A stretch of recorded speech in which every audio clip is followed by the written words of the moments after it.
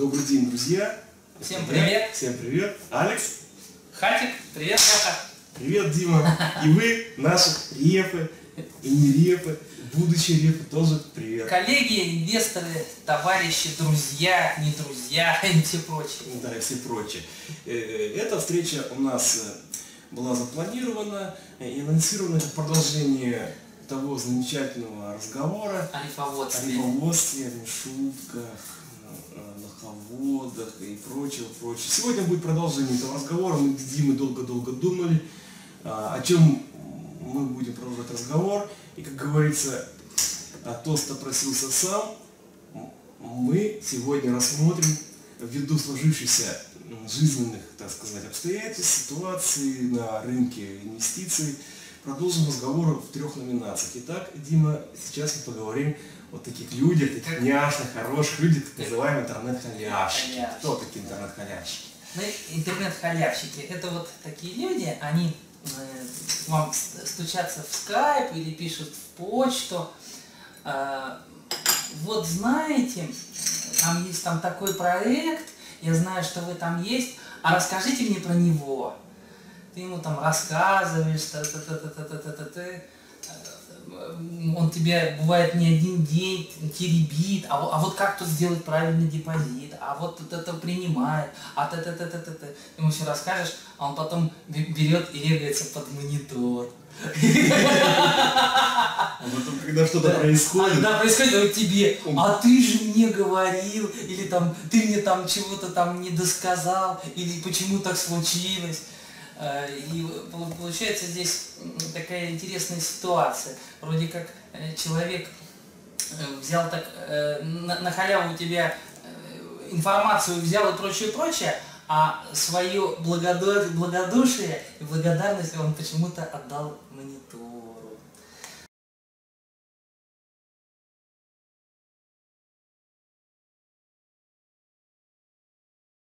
Дальше есть такие халявщики, которые наоборот уже под кем-то зарегистрировались и говорят, а ну я зарегистрировался там уже, мы все равно как бы там в одной теме.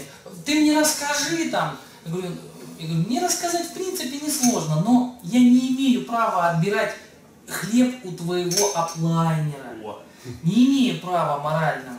Поэтому это он должен сделать в первую очередь. И с моей стороны просто было бы не тактично, и как э, коллега коллеги было бы некрасиво, если бы я вместо него начал вас консультировать, так сказать, прыгая через голову.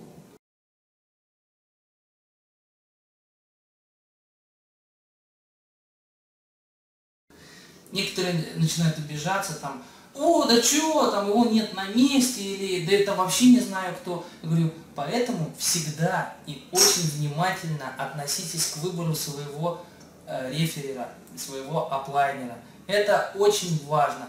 Потому что это тот человек, э, э, который именно обязан, ну скажем так, условно, э, вам действительно все время по проекту консультировать, делать какие-то подсказки, устранять нюансы. С помощью него вы можете общаться с администрацией, если у вас есть там какие-то коллизии. И поэтому это очень-очень важный аспект и вопрос, на который многие просто не обращают внимания. Э, Для некоторых важно, скажем, там ревку срубил с монитора, и все, и тра- трава не расти, вот, а, там, а потом там разберемся. А грамотный оплайнер это э, не только э, тот человек, который вам все расскажет, подскажет, но он вас может многому еще научить помимо э, работы в этом проекте. Он может грамотно вас проконсультировать и вообще в контексте инвестиционного рынка, как правильно распределить портфель, много различных других нюансов. Э, То есть это, скажем, ваш, ну, учитель, наставник, если вы не обладаете, скажем, такими знаниями. Вот э, Ну, то бишь, я хочу сказать по практике, что э, те люди, которые выбирают путь интернет-халявщика, то бишь ре- региться под кого-то своего, малокомпетентного лица, консультируются на стороне, они все равно, э, эти люди, я не говорю, что это вы лично, но кто-то, может, себя вот знает, но, но не суть в этом, а в том, что человек интернет-халявщик, он прежде, се- прежде всего себя а, а, ставит в позиции информационного голода, так как он качественную уже информацию не получит а, при консультации. И понятное дело, что он будет поберушничать, спрашивать, где-то там искать, читать, он потеряет гораздо больше времени, чем э, если он зарегится от э, знающего человека. А, вот. Еще а, скажу, что интернет-халявщики это первая группа риска, а, обреченная на неудачу. Потому что, опять я повторяюсь, они отрезаны от первого информационного а, потока о проекте, о компании, а также отрезаны от информационного потока по консультации по около э, так, рабочих моментов. Вот. Еще скажу, что это на практике уже не раз было доказано, что стучится халявщик и начинает на тебя выливать весь негатив там. где-то там верификация, где-то там ошибка эффекта прописать, я там одну буковку забыл, где-то там еще что-то, где-то там пятое, десятое, он начинает на тебя выливать негатив, или где-то прочитал какой-то черный пиар о проекте там, там, к примеру, Дима Жуков, привет, чувак! Тебе спасибо за наш пиар, это так классно нас да, подвинул такой. Благодаря тебе нас узнали. Да, узнали. Вот, яркий пример. Э, и поэтому э, были случаи, что э, люди стучатся в скайп, Здравствуйте, я не ваш реферал, но мы вместе работаем в одном проекте, добавьте меня, пожалуйста, в скайп-чат. Раньше я таких людей добавлял, но как показала практика за несколько лет работы, если ты добавляешь в чат интернет-халявщика, то это же первый же интернет-халявщик начнет первый нести негатив. Негатив, панику издавать, там да, всячески да, подрыв делать. Да. Как правило, это так. Да, как правило, там, я не знаю, по черевке регусь, он сам полит. Я тоже э, по, знаешь как, ну, и чисто из человеческих добрейших чувств, э, раньше там и того добавлю, и того, и того. Ну, знаешь, тяжело быть для всех хорошим. И в итоге все равно на, находятся люди, которые недовольны. Как правило, вот это вот первый, первый эшелон. Да, это, первый эшелон это халявщики. Это вот халявщики, которые... Э, а все равно, когда ты работаешь в команде, это работаешь в команде, у тебя же есть круг твоих постоянных партнеров, клиентов. Они знают, чего ожидать от тебя, что там у тебя можно спросить, что уточнить а ты уже знаешь их реакцию, знаешь, как они. А чем как бы человек, который незнакомый, неизвестный, он там э, все пытается в чат это вот там пробиться или еще дайте мне расскажите, и там приватную информацию или инсайдерскую. Конечно, не, не все такие, но подавляющее большинство вот, именно из категории интернет-халявщиков это вот такие самые, несознательные люди. Самая злостная категория интернет-халявщиков это ревкатеры или кастраты которые намеренно трут реку, но лезут э, знающим людям, чтобы получить информацию. И когда происходит разговор, а вы чей реферал? Ничей. Так давай дружить семьями. Я не хочу, чтобы у меня был оплайте. Но я хочу получить всю информацию от вас. Да. да расскажите, вы вам что, впадло что ли? Вот, это так, ему, так ему говоришь, так ты зарегистрируйся, чтобы здесь был взаимный интерес ты даешь свой опыт, свою информацию, а взамен ну, получаешь да, какое-то там да, партнерское да, реферальное вознаграждение. Это нормально. Очень часто бывает так, что человек говорит, так мы же в одном проекте, в одной команде. А я отвечаю очень просто. Ну мы когда идем в магазин за хлебом, каждый свою буханку платит из своего кармана, а не из-за кармана там кого-то другого человека.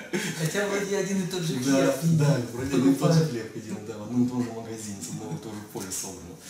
Так что, ребята, э, имейте это в виду. Э, ну, интернет-халявщики это такие няшные, такие добродушные изначально люди, позитивные изначально.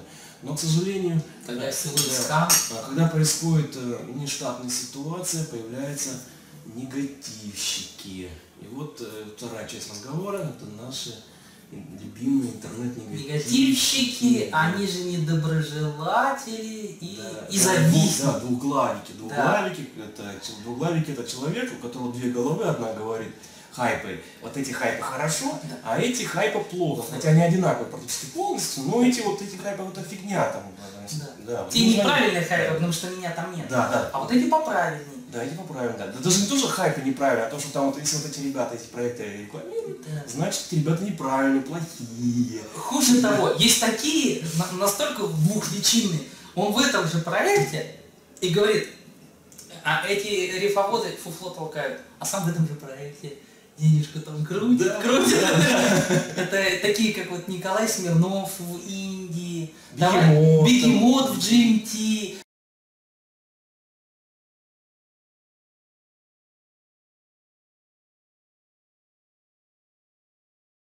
Постоянно им там вот э, не живется. Э, Сами участвуют в хайпах и тут же говорят, о, какие плохие рифоводы, там, они такие плохие, м, сякие. Вот. А сами в хайпах крутятся. Да, круто. Причем эти хайпы называют компаниями. Уверен, это же компания же. Ну, тут 22% в месяц, это же компания же. это же хайп. Рисков нет. Не шутят по полной программе, а на, на нас э, с Димой катят какие-то непонятные бочки. То есть, ребята, если вы хотите работать грамотно, вы говорите за себя, а не за других. Вы же работаете, не мы работаем. Мы за себя говорим сейчас, а вот вы скажите за себя. Вот Дима Жуков тоже молодец, красавчик. Он, он говорит тоже и за себя, и за нас. Из-за того, Да, и за Элпари тоже говорит, с, ком, с Компари, который соскамил меня в 2011 году во всех скам-счетах, перескамив, заскамив, отнял бабки, вывернув меня все карманы наизнанку, это скампари, Элпари, это кидал сплошное. Он его пиарит, проталкивает, все остальное. А, это не работа. Это, знаете, это какашка нервства называется, а не работа. есть такой принцип. Не завидуй, а работай сам, Не ной. не ной. Вот. Э, И если этот принцип соблюдать, то у вас не будет тех людей, на которых вы будете обижаться. То есть вы сами принимайте решения. Сами, э, как говорится, думайте своей головой. Мы единственное можем сказать свое решение. И, скажем, там, своим вкладом или там, депозитом под его подтвердить. То есть мы там доверяем там, настолько-то, например. Вот. А много людей, говорю, видят, что у нас э, получается работать в этом рынке инвестиций. Хотя мы также начинали, как все, тоже так мыкались, быкались. Э, Здесь важна э, самодисциплина, мощнейшая самодисциплина, соблюдение всех правил. Э, Почему-то все, говорят, что, э, ну, многие говорят, что мы не говорим о рисках. Мы всегда говорим в первую очередь о рисках. Ребята, запомните одно и навсегда. Там, где есть процент, там есть риск. Начиная с банков. Там есть процент, значит есть риск. Вот. А то, что уж выше банковского, тем более есть риск. Ты получил деньги на руки, это уже риск. Потому что день 997 год, я никогда не забуду, когда деньги проснулся, они стали в пять раз дешевле. Риск, даже никуда не вкладывайся риск. Мы о рисках всегда говорим, у меня везде есть пометка, вот кричат, Алмида, Алмида не предупредили. Так у меня сразу написано, что Алмида это алтайский проект, фиксированный оборот. Я поясню, что это такое. Кто это, э, как я понял, о рисках кричат после, После скама. После После, скама, скама те, кто не читает о рисках, не хочет До читать. скама, да. до, до, До скама, до, да. до- до депозита. Да. Да. То есть вот, когда у вас есть деньги, и вот очень сильно вот горит у вас Да, рука, хочется, да, их да. потратить не на себя, не на образование, не на семью, а вот пихнуть в хайпики, вы сначала изучите все о рисках. Изучите золотые правила инвестирования. Э, И тогда уже принимайте решение, э, совать эти деньги э, в высокорисковые проекты. Я говорю, а где есть процент, там всегда есть риск. Повышенный Или нет? повышенный риск, повышенный риск. Чем, вот. И, соответственно, третья часть разговора у нас она выливается в что делать после скама. Да, что делать? Э, Как всегда, очень интересная картина происходит, когда проект перестает платить. Сразу вылезается тьма или новорегов, или тех, кто никогда в теме не писал, там какие-нибудь старые гвардии.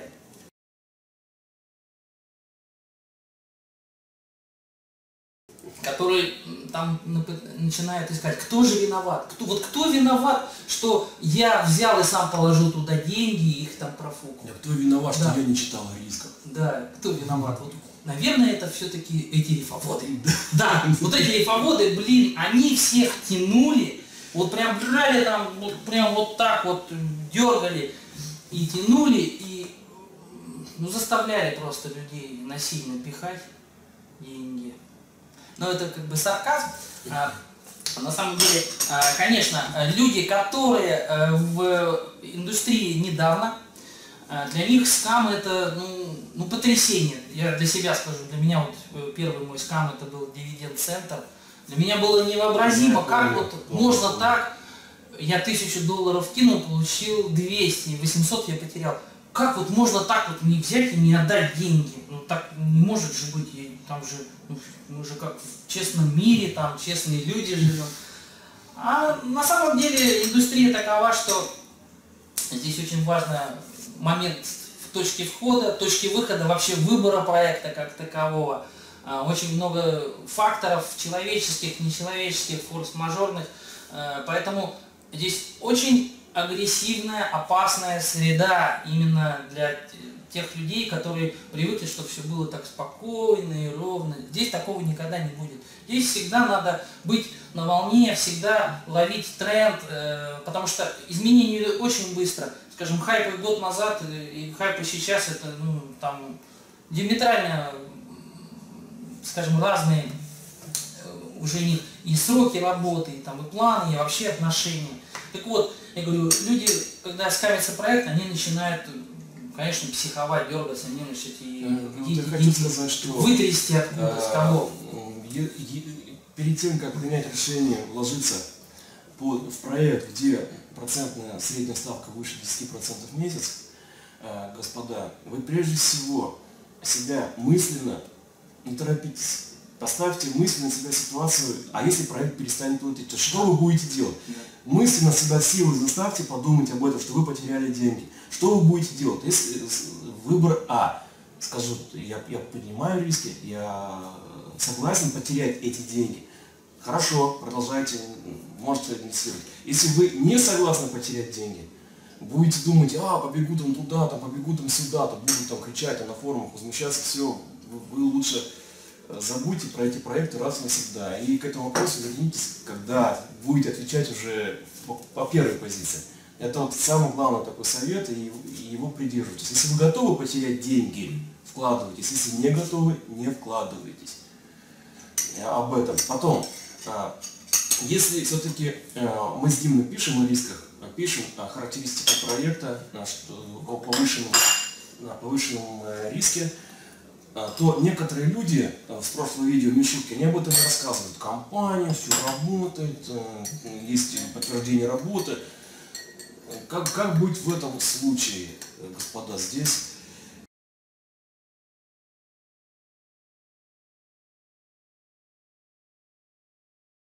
Есть мой совет. Обращайтесь к тем людям, которые именно вас пригласили. Потому что они вам это доказывали, показывали, рассказывали, затягивали или там всячески требуйте пояснения от них. Почему они так говорили? Работайте с этими людьми, кто вас э, пригласил непосредственно. А, дальше, дальше. Теперь по рискам. Конечно, э, многие слушающие этого видео, я вот был в Москве, буквально вчера еще был в Москве, я с несколькими работниками нескольких форекс компаний общался, и мы отметили одну общую проблему, то что люди не различают банальную пирамиду Понзи с фиксированной обороткой, где деньги просто кладутся в тумбочку, а потом уже эта тумбочка сдается другим людям а, на выплаты. То есть по принципу, кто первый, тот и прав, кто первый, того и тапки. Э, и не различают работу банков, а, которые выдают э, кредиты, финансируют, э, торгуют на рынке Форекс, торгуют на финансовых рынках акциями банки. А, и э, работу форекс-брокеров, где э, прибыль создается от э, комиссии, от комиссии со спреда при торговле разных десятков сотен тысяч трейдеров. Вот на этом зарабатывают брокерские компании. Люди это не могут отличить ни хайпа от брокера, ни брокера от банка. Это основная проблема. Поэтому, господа, если вы выбираете какой-то либо инвестиционный проект, уже банк, вы, пожалуйста, хотя бы теорию изучите, на чем происходит монетизация профита то есть э, у банка, у форекс-брокера, там, управляющего какого-либо, там, финансовой компании. Но лучше об этом почитать и на сайте компании и спросить у людей, кто работает. Потому что очень часто бывает так, что если достаточно высокий процент, более 10% в месяц, на сайте компании пишут, извиняюсь, для Буратино, лапшу не соответствует действительности. Очень часто такое бывает, поэтому здесь все-таки рекомендую общаться с профессионалом. Не с мешутками, а с профессионалом. Профессионал от мешутки отличается чем? Тем, что профессионал всегда слово риски. На каждом шагу риски. Риски, и он адек- адекватно смотрит. Вот правильно я скажу, что мы все проекты, которые у нас есть в портфеле, считаем рискованными. Да, все Вот. Просто у нас, э, хочу обозначить, у нас широкий диверсифицированный портфель. Он как диверсифицирован так по брокерам, так по хайпам, как по ДУ, псевдо-ДУ. То есть у нас, грубо говоря, такой большой пирог из многих-многих-многих частей, которые, ну, скажем, делают нестабильно, ну, скажем так, уравновешивают друг друга. А больше, ну, много очень людей, они вот там выбрали, хай там Алмида, все деньги туда спулили, Послушали конференцию. да, послушали конференцию и все, точно зашорилось, Мишутки им сказали, а вот, а Мишутки. Мишутки это те люди, которые изначально заточены под то, что э, проект считают единственным лучшим и всегда Безрисковым, без- безрисковым, безрисковым, безрисковым и э, всегда работающим. Есть э, Мишутки, я скажу, э, скажем так, э, которые делают это намеренно, это такие прожженные, вот они, то есть на самом деле, скажем, тащат народ. А есть мишутки, которые он просто, он даже не может представить, он ну, просто по наивности своей. новичок, да, да. новичок, он просто на самом деле влюблен так в эту компанию, свято в нее верит, и он даже не может представить, что может быть Да, скам. может быть, скам, да. Да. Мы все такими были. Мы все такие ты да, я тоже, тоже такой был, как Дивиденд центр. Да, да, Как, как так? ЕГЭ был. Как, как так может быть? И-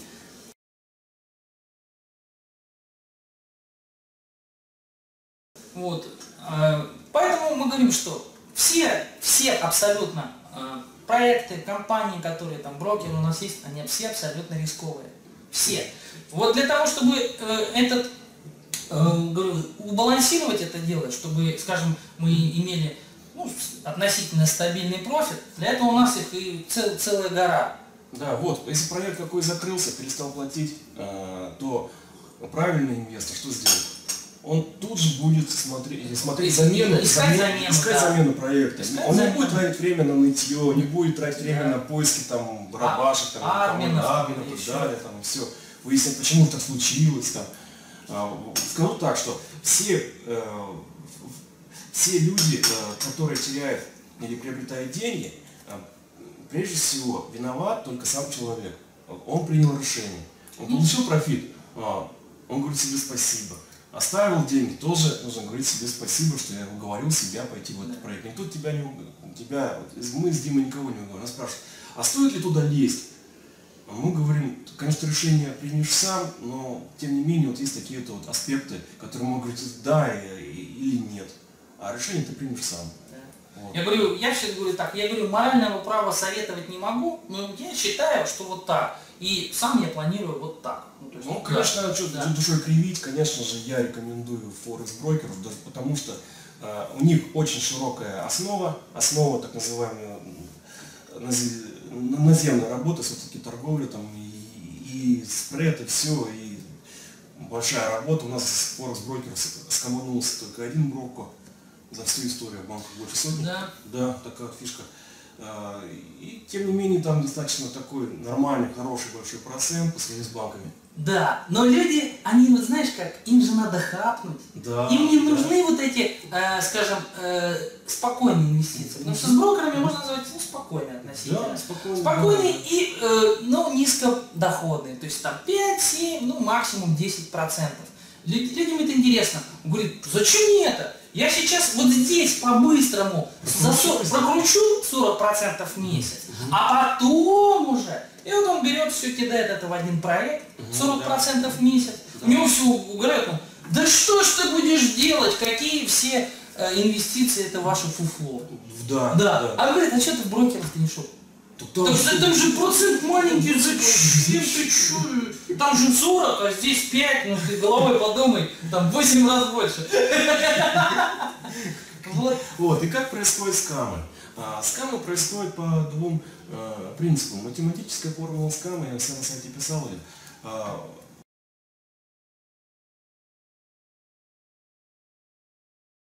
по так- примерно вот по такой линии. Вот по такой. То есть про- проект стартанул, медленный рост вкладов, потом популярность, популярность, насыщение, и уже процент вкладов начинает более пологим идти вверх, э, рост вкладов, объема роста вкладов. А выплат идет вот по такой линии. Мало, мало, мало, мало, больше, больше, больше, больше, больше. О, начались возвраты депозитов. И резко вверх. Да. И когда вот эти две линии встречаются между собой на этом графике, это точка скам. Почему так? А, очень просто поясняю. Админ говорит, вчера мне пришло вкладов на 10 тысяч, а выплат на 8. Хорошо, я в профите на 2000. Да. Сегодня э, пришло вкладов меньше, на 9 тысяч, а выплат стало больше, тоже 9 тысяч. Я выхожу в ноль. А что будет завтра? Да. А что будет завтра? А за- я а- буду а- платить в убыток, себе в убыток, вашими деньгами в убыток, себе нет. Все, скам, скам, скам, клею скам, короче, любят скам. Вот. Это самая частая схема, но, господа, даже если будет очень правильная понзи схема, очень правильная понзи схема, а, примерно получается так, что если платите проекту, проекту по 20% в месяц, это примерно такая на статистике, то проект может проработать год и больше. С мешутками может еще больше проработать, больше процентом, Алмида пример тому. А, а, И поэтому создаются вопросы, люди, а почему некоторые проекты работают так мало? Ответ простой. Есть такое понятие доноры. То бишь админ строит какой-либо проект, он собирает деньги на этапе роста, на этапе роста. Он, он уже он примерно знает, когда будет этот год насыщения вкладов, э, даже процент выплат не будет такой достаточно большой, но если сдвинуть такой срез, э, то отскочить гораздо раньше, ему будет гораздо выгоднее, чем э, потом ему еще могут накидать достаточно плохих денег. Они эти деньги забирают, проект закрывают и кидают на какой-нибудь другой проект, на, на развитие того другого проекта или поддержку какого-то другого уже более старого проекта. Это называется донорство. Это, конечно, очень жесткая, очень агрессивная такая вот работа, она ударяет по всей инвестиционной хайп-индустрии, Да. народ Подрывает. подрывает. доверие, возникает масса негатива, Разочарование, разочарований, да, да, обвинений. Вот, Мгм. что, про клевер, давай, например, на примере клевера. Да, например. Не, не, неплохой проект, проект был отличный, хороший. И шел он и развивался здорово. И туда ну, на самом деле шли огромные деньги. Э, только 27 офисов в реале было открыто. Но э, админы здесь как раз сорвали куш и, и, растворились. Хотя- войны, да. Хотя всё. было вот задатки и денег было работать, ну вот Да, видно. потенциал дикий. Можно 12 было работать да, работать. Работать, работать. 27. 27? 27 офисов реале. Жесть. 27. Леша. Ёлка. Вот, 27 офисов. Вот. Но в итоге виноваты мы с Лешей доказали. Они, никто в эти 27 офисов не пришел, там, там вот так по стулу не ударил, что же вы там, т -т -т. А вот, потому что мы, ну, люди общественные, популярные в интернете. Вот, о, вот эти рифоводы виноваты, они там с ними снимались. Да, Волми- Волмиду зазывали. Алмиду зазывали и прочее. Э, бу- Буду откровенен, лично я даже близко не представлял такую скоротечный скам. Близко не представлял. То есть я думал, ну, минимум до Нового года, Минимум до а Нового года. минимум, да. Спокойно. Математически А, спокойно да, математически, да. То есть вот эти все кривые, они там под- за Новый год уходили. Да, спокойно.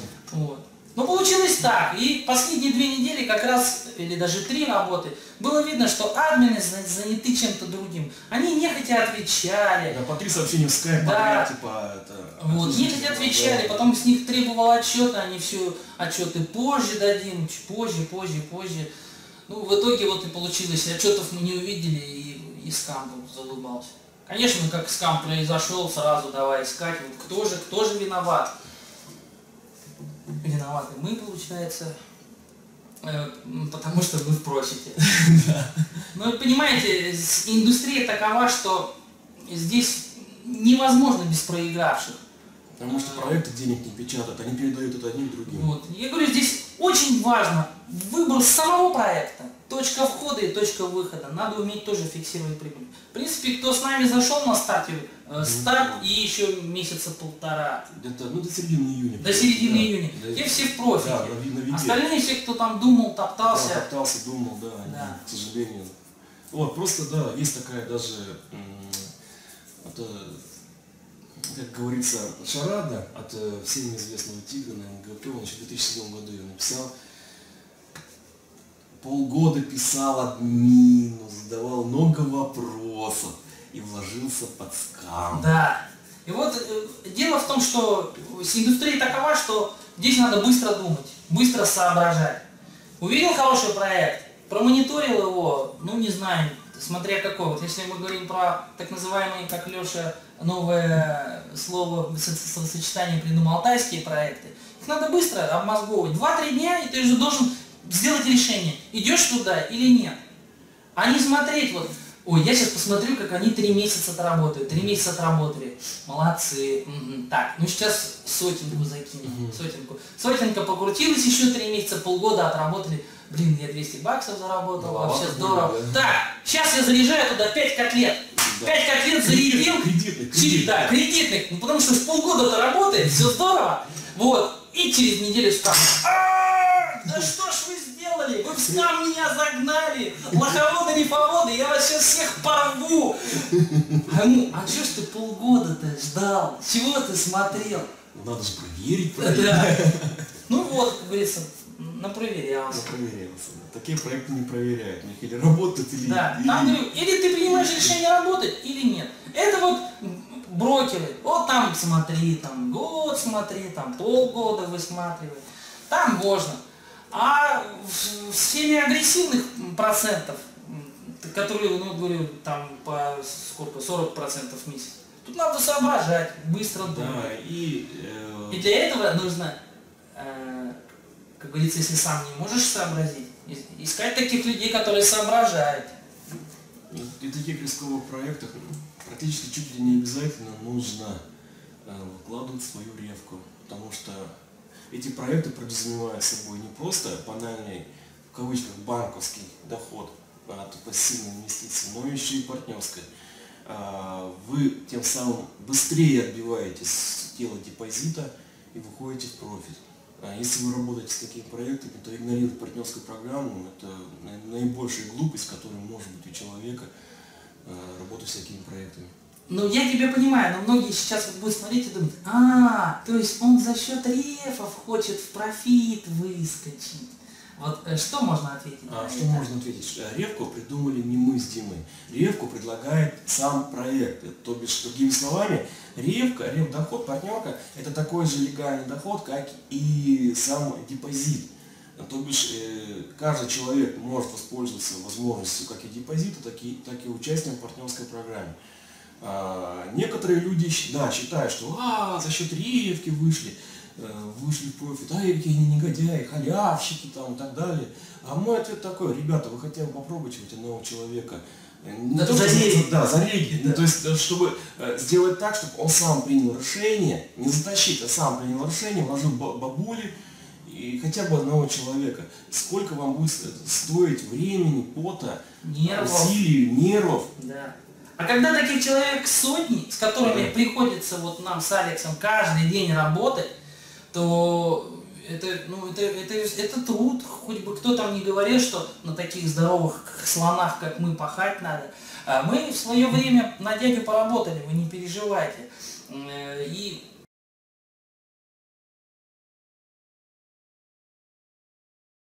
и нормально так поработали. То есть мы, как говорится, жизнь прочухали тоже с самого низа. Но э, тут дело такое, что э, человек или развивается дальше, или там топчется на месте. Вот мы решили, что наше развитие идет дальше, мы можем работать не только руками, но и головой. Поэтому мы в ну, данной сфере. Пока данная сфера работает, и пока она для нас профитная, почему бы здесь не работать? Партнерская программа это легальный способ заработка, неважно да. дело. Тут это Я считаю это так, вот смотри, ты берешь машину, и тебе говорят, возьмите зимние колеса бонусом. Угу. А они, нет, зимние колеса я брать у вас не буду бонусом. Они, ну возьмите, вот, пожалуйста. Это ну, глупо же не брать. Угу. Вот, то же самое и здесь. Тебе дают ревку, пожалуйста, бери. Это, а, говорю, а, а, говорю, никто из вас, наверное, когда покупает машину, ему дают колеса, там, я не знаю, э, что-нибудь там, а, обо, какой-нибудь обогрев зеркал там дополнительно, ну что-нибудь такое, бонусы какие-то. Вы говорите, нет, нет, я от этого откажусь, я это хочу купить за деньги. Смешно, да? А когда мы левку э, другие люди берем, то что-то, ух ты, какую левку он берет, какой гад. Так если это предусмотрено проектом. Тем более, э, реферальная составляющая, она э, нацелена на развитие проекта. Это То есть, маркетинг. чтобы это была мотивация. И, потому что проекты без ревки, ну, они, проекты, проценты, проекты без ревки, они маложивучие, никому не интересные. Такие проекты есть, они в основном Есть? в Европе, и это в основном брой- брокерские крупнейшие компании, но там минималка входа, что-то там 50 котлет, зеленых и так далее. Есть такие, есть. Но в целом партнерка это маркетинговый ход, который сейчас даже банки пользуются. Даже банки. Да, даже банки. Вы неоднократно же, наверное, видели. Приведи друга, который Да. сделает депозит и получишь 500 Да, рублей. компании, да, на, счет, Да, Google, да. и так далее. Интернет-магазины, очень много интернет-магазинов. Это уже неотъемлемая составляющая нашей жизни, и э, глупо ее исключать или говорить, Намеренно что это исключать. намеренно исключать, говорить, что это, это халява. Эту халяву, скажем, мы не сами придумали, и это, ну, скажем, благо дано, и можно пользоваться, можно не пользоваться. Ну, кто не хочет не пользоваться, это его личное дело. Я говорю, так же, как колеса. Нет, не- Да, мы, мы сами купим колеса за деньги. Зачем они нам бесплатно? Вот, собственно, Дима, мы раскрыли. Да, который вот наболели, скажем, да. и который хотелось бы донести до людей. э, И надеюсь, что у нас с Алексом эти видео будут на регулярной основе, потому что, еще раз повторю, э, некоторые недоброжелатели пишут, вот, вам нужны только тупые, безголовые, там, буратины, которые ничего не понимают, они несут деньги. А вот э, такие никому не интересны. Объясню. Э, Гораздо удобнее, легче, проще и приятнее работать э, с теми клиентами, которые информационно и инвестиционно подкованы, которыми не надо мучиться, там, сельски, масяски, почту зарегистрировать, кошелек зарегистрировать. Он знает, куда идет, на что идет, какими средствами. И нет вот потом этих там Да, да. визгов, Обычно- нервотрепки и Обычно кто-то говорит, что там это тупые бабульки нужны, это они говорят про себя. Да, про себя Да, и у них не получается привлекать таких людей, э, они про себя. Им нужны, конечно, чтобы им это мишуткам такие люди нужны, которые не задают Потому что из вопросов. наших рефов таких что-то я вот не вижу, Да, которые нет. орут и говорят, вот ты виноват. Обычно это всегда люди со стороны Да, говорят, там, это вот Да, там, начинаешь, Бегемоты. если- да, если начинаешь изучать Да, человека, да. он это рифовод сам. Да. Вот Дима Жуков, он рифовод Альпари. А Он зарабатывает на черном пиаре, он занимается, все равно он занимается в других проектах, компаний, всего-всего и людей. А Альпари хвалит, хотя Альпари перекидала тучу сотни народу, и моих партнеров, и меня самого. Ну вот Поэтому я был в стар- стандартно. Э, говорю, полгода я там был с этим скам-счетами, и, слава богу, вышел в ноль. Вышел в ноль. Я тоже ноль, только второй ноль. Надо ноль. А, а я скажу, депозит крутился, был в минусе, потом плюс. Потом а, еще я заметил, что а, так называемые блогерские войны, есть а, скрытые войны, берет человек а, компанию на сайте, перечеркивает всячески, хотя компания платит, все, и, и выставляет баннер другой компании, вот, это няша, надо вам отсюда деньги сюда переносить. И, как правило, почему-то это именно, э, там фигурирует именно Альпари, там, Экстрент. И Так. это, такая тенденция направлена, что очень много людей мне пишут, что Леша, вот на таком-то знаменитом блоге подписан какие-то новости, плюс такая вот статейка интересная. Я говорю, а какие там баннеры, какие компании размещены? Ну, да- Он говорит, ну, ну дай посмотрю, захожу, вижу Альпари, вижу Экстрент, и все понятно становится. Но скажу вам честно, что честный, открытый инвестор никогда не будет заниматься намеренным таким вот перетаскиванием э, народа через э, черный, Через масс- черный пиар. черный такой громкий пиар. Не Да. будет. Э, это- Если есть негатив, вот я сказал сейчас, пари я обругал, ну а потому что он деньги потерял. Если я потерял деньги, почему я должен об этом молчать? Вот так. Не, ну потерял, но тем не менее ты же не вешаешь блоги- на блоге Да, у себя да. там это скам, там Да, ни- никто да. не лезет туда. Кто хочет это? Но мы немножко не, не закончили про, я говорю, про грамотных. э, э, А грамотный инвестор, он Грамотный инвестор и в том числе наш партнер, он нам гораздо интереснее. Я говорю, неинтересно возюкаться, с, как вы говорите, там, с С буратинами да, этими. да, Вот. Проще, э, лучше будет команда на ту же сумму, но уже инвесторов, которые уже, как говорится, не раз тесанные в боях, которые знают, на что идут, с которыми приятно, комфортно работать.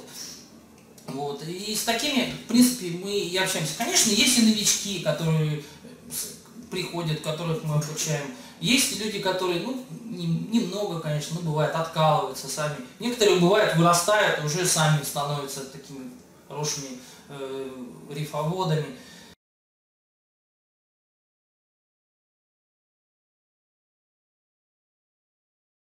Вот.